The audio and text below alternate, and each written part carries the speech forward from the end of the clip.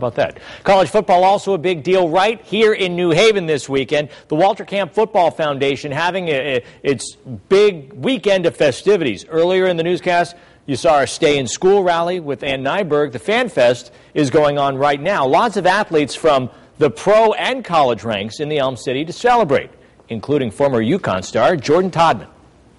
You know, got, get to meet players, you know, outside of the helmet.